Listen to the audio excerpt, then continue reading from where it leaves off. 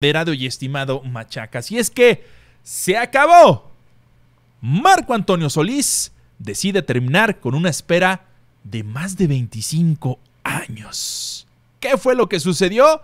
Pues se los platicamos a quien Se Prendió la Banda, pero antes te pido que te suscribas, que le des like, que actives las notificaciones y que estés al pendiente de toda la información de Se Prendió la Banda. Y es que bueno, la nostalgia el ritmo y la buena música se apoderó del festejo del Día de las Madres con el concierto de Marco Antonio Solís. Fue al filo de las 8 eh, de la noche el, del pasado, de este pasado domingo, cuando el Buki, también eh, pues se le conoce, regresó a la escena musical con una bohemia en pandemia. Un concierto virtual que buscó reunir a la familia justo en un año del inicio del confinamiento por COVID-19. Pero el momento que sin duda alguna se robó la noche fue el reencuentro de los Bookies. Reencontrarse después de 25 años de ausencia y se espera que tengan más planes juntos, ya que justo al terminar este show virtual abrieron su cuenta de Instagram con una fotografía para recordar su entrañable participación. Y bueno, vámonos a por acá, Machiaques vámonos este, a la computadora, porque sin lugar a dudas, sin lugar a dudas, eh, pues de los momentos que más sorprendieron, eh, pues fue esto, ¿no?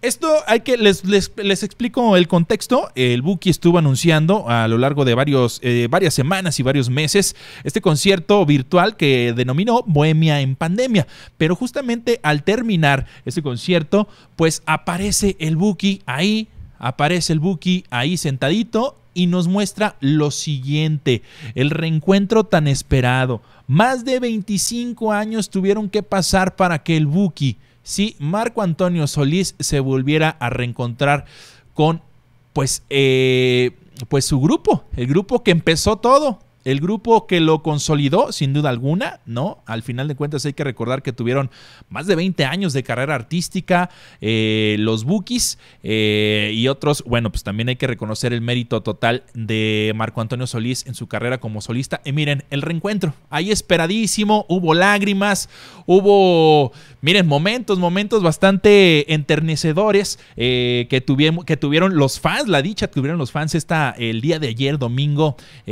pues de este reencuentro que muchos fans, de verdad, todos los fans de eh, Marco Antonio Solís y de los Bookies, pues esperaban con tanto, con tanto anhelo. Y pues esto se, pues se pudo, pudo concretar finalmente. Pero bueno, para los que no saben muy bien cómo fue esta separación, les platico que los Bookies se formaron, eh, este grupo, esta agrupación se formó en el año de 1972.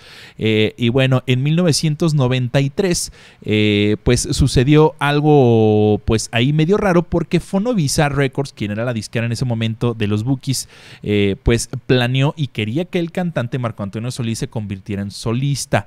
Poco después lanzaron un disco que aparecía como Marco Antonio Solís y los Bookies. Y es por eso que esta, por esta situación pues empezaron las enemistades, ¿no? Empezaron ahí los conflictos porque, bueno, a los integrantes de la banda pues no les gustó, no, no fue mucho de su, de su agrado eh, pues que la disquera tomara esta decisión y que pues también Marco Antonio Solís deseara ya desde hace mucho tiempo aventarse al ruedo como solista. Y fue en el año de 1997 cuando dieron por eh, terminada su relación laboral.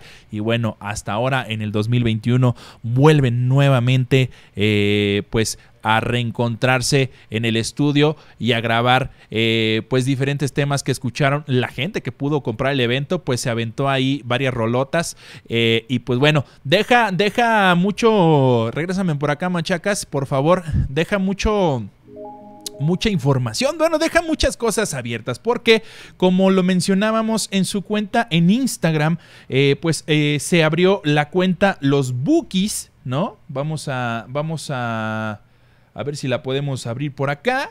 ¿no? Esta, esta fotografía, una fotografía bastante, bastante eh, que llamó mucho la atención eh, esta, esta foto, deja ver si la encuentro por acá, mi machiacas, este, en esta cuenta de Instagram. Y bueno, esta también la, vamos a, la vamos a, a ver si lo, puedo abrir por acá, permítanme.